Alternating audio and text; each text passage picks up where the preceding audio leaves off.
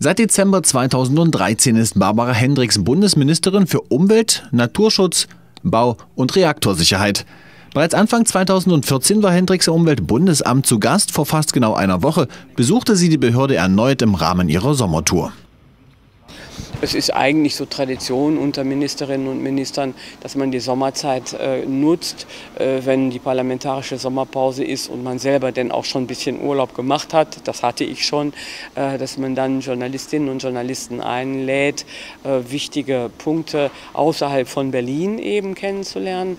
Äh, es ist ja so, dass hier natürlich die regional tätigen Journalisten äh, sich auch dafür interessieren. Sie sind ja auch hierher gekommen. Aber insbesondere nehmen wir äh, Journalistinnen und Journalisten aus der Hauptstadt mit, die ja wie wir Politiker auch in der Gefahr sind, sozusagen in dem Bienenkorb der, der Hauptstadt zu verschwinden. Und wir können alle nur froh sein, wenn wir die Chance haben, da mal auszuschwärmen.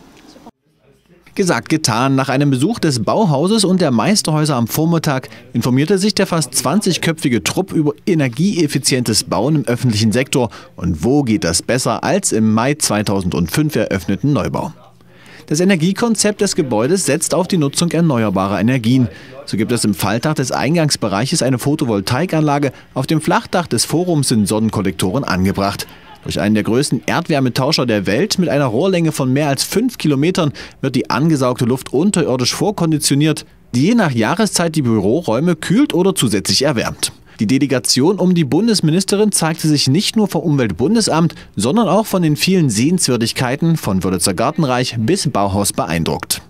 Äh, in besonders guter Erinnerung bleibt mir natürlich tatsächlich dieser Reichtum der Stadt, ähm, wozu wir nun neuerdings auch beitragen seit zehn Jahren mit diesem wunderschönen Gebäude hier, das auch beispielhaft steht äh, und das natürlich auch dafür steht, dass eine Stadt, die UNESCO-Weltkulturerbe in doppelter Hinsicht ist, gleichwohl eine Fortentwicklung hat, eine, ähm, eine architektonisch ansprechende, auch unter energetischen äh, Gesichtspunkten und unter Baukulturgesichtspunkten Gesichtspunkten ansprechende Weiterentwicklung.